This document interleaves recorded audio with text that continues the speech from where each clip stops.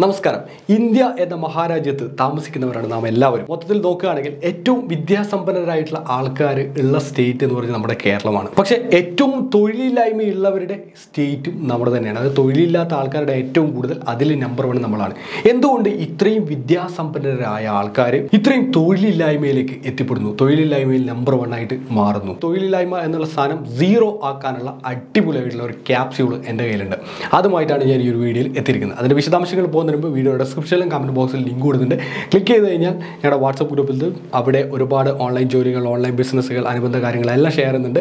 എല്ലാവരും ഗ്രൂപ്പിനകത്ത് ജോയിൻ ചെയ്യുക. ഫ്രീ ആണ്. നിങ്ങളുടെ ഫ്രണ്ട്സ് റിലേറ്റീവ്സ് ഒക്കെ ഉണ്ട്. അവർക്കും ഒന്ന് ഷെയർ ചെയ്ത് കൊടുക്കാം. തൊഴിലില്ലായ്മ എന്ന് പറയുന്നത് നമ്മുടെ രാജ്യത്തിനെ സംബന്ധിച്ചിടത്തോളം നമ്മുടെ സ്റ്റേറ്റിനെ സംബന്ധിച്ചിടത്തോളം നമ്മുടെ ഓരോ നാടുകളെ സംബന്ധിച്ചിടത്തോളം നമ്മളെന്ന വ്യക്തിയെ സംബന്ധിച്ചിടത്തോളം ഏറ്റവും കൂടുതൽ പ്രശ്നമായ കാര്യമാണ്. നമുക്ക് ജീവിക്കാൻ നമ്മുടെ ആഗ്രഹങ്ങൾക്ക് തടസ്സം നിൽക്കുന്ന ഒരു സാധനമാണ്. പലപ്പോഴും നമുക്കൊരു ജോലി ഉണ്ടാവും. കുറേ ദിവസം നമ്മുടെ ജോലി പോകും. ഇതിന്റെ മെയിൻ ആയിട്ടുള്ള റീസൺ എന്താണ്? പഴയ കാലങ്ങളിൽ നമ്മൾ പാഠപുസ്തകങ്ങൾ നമ്മൾ പഠിക്കുന്ന കാര്യങ്ങൾ ഇപ്പോഴും നമ്മൾ പഠിച്ചുകൊണ്ടിരിക്കും. ചില കാര്യങ്ങളൊക്കെ അപ്ഡേറ്റഡ് ആയിട്ടുണ്ട്. നമ്മൾ ഈ കാര്യങ്ങളൊക്കെ ഒരുപാട് തിയറിയും ഒരുപാട് കാര്യങ്ങളൊക്കെ നമ്മൾ പഠിച്ചതുകൊണ്ട് നമുക്ക് എപ്പോഴും നമുക്ക് ഈ ജോലി കിട്ടണമെന്നുണ്ടോ? ഈ കാര്യങ്ങൾ പഠിച്ചിട്ട്.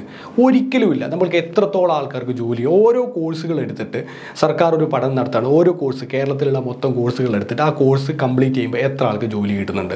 ഇന്ന കോഴ്സ് ഇത്ര ആയിരം പേര് ഇന്ന കോഴ്സ് കംപ്ലീറ്റ് ചെയ്തു. അതിൽ എത്ര പേർക്ക് ജോലി കിട്ടി? ഇന്ന പേര് ഇത്ര കോഴ്സ് കംപ്ലീറ്റ് ചെയ്തു അവർക്ക് എത്ര പേര്. അങ്ങനെ ഓരോ കോഴ്സുകളും കംപ്ലീറ്റ് ചെയ്യുമ്പോൾ എത്ര പേർക്ക് ജോലി കിട്ടുന്നുണ്ട് അനാലിസ് ചെയ്യുന്നത് നമുക്ക് വളരെ ഈസിയിൽ ഒരു അതിനൊരു കൃത്യമായിട്ടുള്ള ഒരു കണക്ക് നമുക്ക് എടുക്കാൻ നമുക്ക് സാധിക്കും. എനിവേ കോഴ്സുകൾ പഠിച്ചത് കൊണ്ടല്ല നമ്മൾ വരുമാനം നമ്മൾ ഉണ്ടാക്കേണ്ടത്. അല്ലെങ്കിൽ ഒരു പുതിയൊരു വിദ്യ പഠിച്ചിട്ടല്ല നമ്മൾ വരുമാനം ഉണ്ടാക്കുന്നത് സ്കില്ല് എന്ന് പറഞ്ഞാൽ അതായത് ചെറുപ്പകാലം ഒന്നാം ക്ലാസ് മുതൽ പ്ലസ് ടു വരെയുള്ള കാലഘട്ടത്തിനിടയിൽ നമ്മുടെ അധ്യാപകരും നമ്മുടെ പാരൻസും കൃത്യമായിട്ട് നമ്മളിൽ ഒരു സ്കില്ല് അവർ കണ്ടെത്തും. ഒരു സ്കില്ല് അവർക്ക് ഐഡന്റിഫൈ ചെയ്യാൻ പറ്റും. നമ്മൾക്ക് തന്നെ സെൽഫായിട്ട് ഐഡന്റിഫൈ ചെയ്യാൻ പറ്റും. അതാണ് നമ്മുടെ താല്പര്യം എന്ന് പറയുന്നത്. നമ്മുടെ ഇൻട്രസ്റ്റ് എന്ന് പറയുന്നത് നമ്മുടെ പാഷൻ എന്ന് പറയുന്നത് നമ്മുടെ ഒരു വിഷയത്തിൽ നമുക്ക് ഭയങ്കര ഡെഡിക്കേറ്റഡ് ആയിട്ടുള്ള ആ സ്കില്ല് ആ സ്കില്ലിൽ വേണം നമ്മൾ work out as a parent ആ സ്കില്ല് എന്താണ് എന്ന് കണ്ടെത്തി കഴിഞ്ഞാൽ ആ സ്കില്ലിൽ വേണ്ടിയിട്ട് അവർക്ക് പ്രോപ്പർ ആയിട്ടുള്ള സപ്പോർട്ട് കൊടുക്കുക ട്രെയിനിങ് കൊടുക്കുക. ഇനി പ്ലസ് ടു കഴിഞ്ഞിട്ട് നമ്മൾ അവരെ പ്രഷർ ചെയ്യാതെ ആ ഒരു മേഖലയുമായി ബന്ധപ്പെട്ടുള്ള നെക്സ്റ്റ് സ്റ്റഡി എന്തുണ്ട്?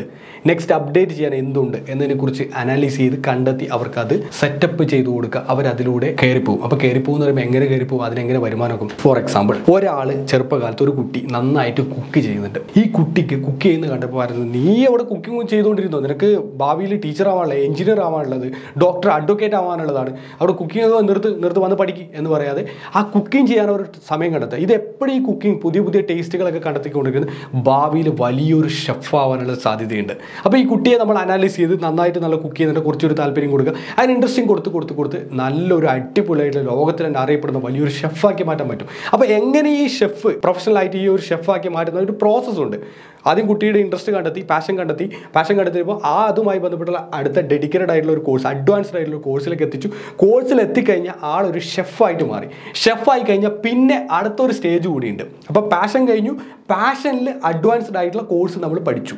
പഠിച്ചു കഴിഞ്ഞാൽ അടുത്തൊരു സ്റ്റെപ്പ് കൂടി ഉണ്ട് ആ ഒരു നമ്മൾ അഡ്വാൻസ് ലെവലിൽ നിൽക്കുന്ന ആ ഒരു സ്റ്റേജിൽ നിന്ന് ആ ഒരു പാഷൻ നിന്നും അതിനെ വരുമാനം ഉണ്ടാക്കിയിട്ട് മാറ്റാൻ കൂടി അടുത്തൊരു സ്റ്റേജിൽ നമ്മൾ പഠിക്കും. പഠിക്കുന്ന വെച്ചാൽ ഇപ്പോൾ ഒരു ഷെഫാണെങ്കിൽ ഷെഫിന് ചെയ്യാൻ പറ്റുന്ന ഏറ്റവും ഈസി ആയിട്ടുള്ള വരുമാനം ഉണ്ടാക്കാൻ പറ്റുന്ന കുറച്ച് മെത്തേഡുകൾ ഒന്നാമത്തെ കാര്യം ഷെഫിന് എവിടെയെങ്കിലും പോയിട്ട് ഒരു സ്ഥാപനത്തിൽ പോയിട്ട് ജോലി ചെയ്യാം. ജോലി ചെയ്യാന്ന് പറഞ്ഞാൽ ചിലപ്പോൾ അവിടെ ജോലി കിട്ടും. പിറ്റേ ദിവസം ചില ചില സ്ഥാപനങ്ങളിൽ ജോലി കിട്ടാനും സാധ്യത കുറവാണ്. ആദ്യഘട്ടത്തിൽ ഒരു ഷെഫാണെന്ന് സമൂഹത്തിന് മുമ്പിൽ തെളിയിക്കുക. അതായത് ഞാനൊരു ഭയങ്കര പ്രൊഫഷണൽ സ്റ്റെപ്പാണ് അതിനെന്ത് ചെയ്യുക നല്ല രീതിയിൽ സോഷ്യൽ മീഡിയകൾ അവൈലബിൾ ആണ്. എല്ലാവരും സോഷ്യൽ മീഡിയയിലാണ് ഈ സോഷ്യൽ മീഡിയകളിൽ എന്ത് ചെയ്യുക തന്റെ കുക്കറി ഷോകൾ ഒരുപാടെണ്ണം നടത്തുക. വീട്ടിൽ നിന്ന് തന്നെ കുക്ക് ചെയ്യുക. അത് ഒരുപാട് വീഡിയോകൾ ഉണ്ടായിട്ട് ഇടുക. അപ്പോൾ ഒരുപാട് ജനങ്ങൾ കാണും. ജനങ്ങൾ കണ്ട് കണ്ട് കണ്ട് കണ്ട് എന്ത് ചെയ്യും?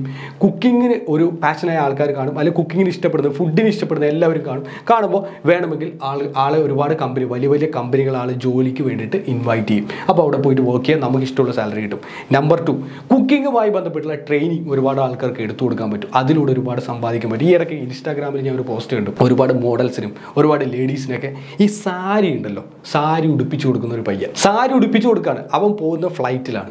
ലക്ഷറിയസ് ആയിട്ട് അവൻ താമസിക്കുന്നു. അവർ രണ്ട് മൂന്ന് പി എമാർ അവൻ സാരിയൊക്കെ ഇങ്ങനെ ഞൊറിയൊക്കെ ഇട്ട് കാണണം. അതൊക്കെ കണ്ട് ഞെട്ടും. അതിനപ്പുറം അവന്റെ കോഴ്സ് ഉണ്ട്. ആ കോഴ്സിന് പത്ത് പതിനയ്യായിരം രൂപ കൊടുത്തു കഴിഞ്ഞാൽ കോഴ്സിന് ജോയിൻ ചെയ്യാം. ഒരു മണിക്കൂർ എങ്ങാനുള്ള ലൈവ് ക്ലാസ്സാണ് സാരി ഉടുപ്പിക്കുന്നത്. അത് ഭയങ്കര ട്രെൻഡാണ് മനസ്സിലായില്ലേ? സാരി ഉടുപ്പിക്കുന്നതിൽ പോലും ഒരു പാഷനാണ് അവന്റെ ഇഷ്ടമാണ്.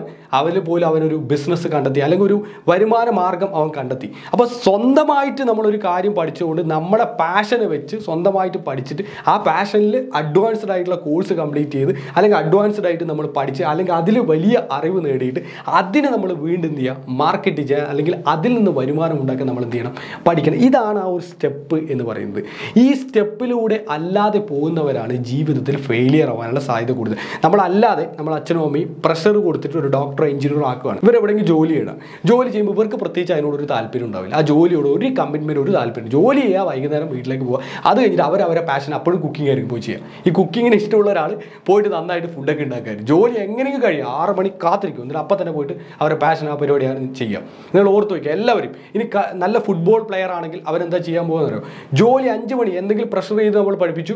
ഒരു ജോലി കിട്ടി. ആ ജോലി കഴിഞ്ഞ് ഉടൻ തന്നെ ഓടിപ്പോവാണ് അവനെന്തെങ്കിലും ഫുട്ബോൾ കളിക്കാൻ പോകുന്നത് അവന് താല്പര്യം അതാണ്. അതിനോട് ഇൻട്രസ്റ്റ് രാത്രി വരെ ഫുട്ബോൾ കളിക്കും. പലതരത്തിലും ഫുട്ബോൾ കളിക്ക് വേണ്ടിയിട്ട് അവന്റെ ജോലി തന്നെ ഒരു ദിവസം ലീവ് എടുത്തിട്ട് ഫുട്ബോൾ കളിക്കാൻ പോകുന്ന ആൾക്കാരുണ്ട് കണ്ടില്ലേ അപ്പോൾ പാഷനെ എപ്പോഴും നമ്മൾ എന്ത് ചെയ്യുക വരുമാനമാക്കി മാറ്റാൻ വേണ്ടി നമ്മൾ ശ്രമിക്കുക. ഈ കാര്യം ചെയ്തു കഴിഞ്ഞാൽ നമുക്കൊരു സ്ഥലത്ത് തൊഴിൽ കിട്ടണമെന്നൊന്നുമില്ല. നമ്മൾക്ക് തന്നെ സ്വയമായിട്ടൊരു തൊഴിൽ കണ്ടെത്താനുള്ള ഒരു കപ്പാസിറ്റി അവർക്ക് കൊടുക്കുക. ഇത് ചെറുപ്പത്തിലേ കൊടുക്കണം. അപ്പോൾ നമുക്കൊന്ന് ചെറുപ്പത്തിൽ ഇത് കിട്ടിയില്ല. നമുക്ക് പാഠപുസ്തകങ്ങൾ പഠിച്ചു കഴിഞ്ഞാൽ ഇന്നാവും ഇന്നാവും ഇന്നാവും എന്നാണ് നമ്മുടെ ധാരണ. അതാണ് ഇപ്പോഴത്തെ കുട്ടികളുടെ ധാരണ. ആ ധാരണ നിങ്ങൾ മാറ്റി കൊടുക്കണം അവരെ പാഷനെ വർക്കൗട്ട് ചെയ്യിപ്പിക്കണം. നല്ല രീതിയിലുള്ള സപ്പോർട്ട്സ് കാര്യങ്ങൾ കൊടുക്കണം. ഈ ഒരു സംഭവം ചെയ്തു കഴിഞ്ഞാൽ അവർ ലൈഫിൽ സെറ്റായി അല്ലാതെ നമ്മളിപ്പോൾ ഈ ഒരു കേരളത്തിൽ കുറേ ബിസിനസ് സ്ഥാപനങ്ങളില്ല. അല്ലെങ്കിൽ ഇവിടെ എല്ലാം പൂട്ടിപ്പോകുന്നു. ഇവിടെ അങ്ങനെയാണ്. ഇവിടുത്തെ കൾച്ചർ അങ്ങനെ ആയതുകൊണ്ടാണ് ഇതൊക്കെ പറയാം. അതൊന്നും ഒരു ന്യായവും ഇല്ലാത്തൊരു കാര്യമാണ്. കുറച്ചൊക്കെ അല്ലറ ചില്ലറ നമുക്ക് വേണമെങ്കിൽ വിശ്വസിക്കാം.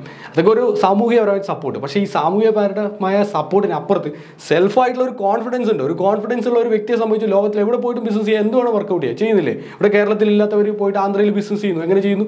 അവർക്ക് കോൺഫിഡന്റ് ഉണ്ട്. ആ കോൺഫിഡന്റ് നമ്മൾ ഈ പാഷനായിട്ട് ക്രിയേറ്റ് ചെയ്ത് കഴിഞ്ഞാൽ അവർ എവിടെയും പോയി ചെയ്യും. ഇവിടെ ചെയ്യാൻ സാഹചര്യമില്ലെങ്കിൽ സാഹചര്യം ഉള്ളിടത്ത് കണ്ടെത്തി ചെയ്യും. അപ്പോൾ വേണ്ടത് ഈ സാധനങ്ങളാണ്. ഇത്രയും കാര്യങ്ങളാണ് വേണ്ടത്. അപ്പോൾ ഇത് കറക്റ്റ് അല്ലേ? നിങ്ങൾക്ക് തോന്നുന്നുണ്ടോ? കറക്റ്റാണെന്ന് തോന്നുന്ന ആൾക്കാർ കമന്റ് ചെയ്യുക. ഇനി തിരിച്ചിട്ടുള്ള അഭിപ്രായങ്ങളുണ്ടാവും അവരും കമന്റ് ചെയ്യുക. നമുക്ക് അതിനെക്കുറിച്ച് ഒന്ന് അനാലിസ് ചെയ്തിട്ട് നമുക്ക് അടുത്തൊരു വീഡിയോ കൂടി അനാലിസ് ചെയ്ത് വീണ്ടും അടുത്തൊരു വീഡിയോ കൂടി നമുക്ക് എന്തായാലും ചെയ്യാം. ഈ ഒരു വീഡിയോക്ക് കണ്ട എല്ലാ ആൾക്കാരോടും thank so much friends relatives ഉണ്ടെങ്കിൽ അവർക്ക് ഷെയർ കൊടുക്കുക. കുട്ടികൾക്ക് എല്ലാവർക്കും ഒന്ന് മനസ്സിലാക്കി കൊടുക്കുക. കൂടുതലായിട്ടുള്ള വീഡിയോകൾക്കായിട്ട് ചാനൽ സബ്സ്ക്രൈബ് ചെയ്യാൻ notification bell button clear mark ചെയ്ത് താങ്ക് സോ മച്ച്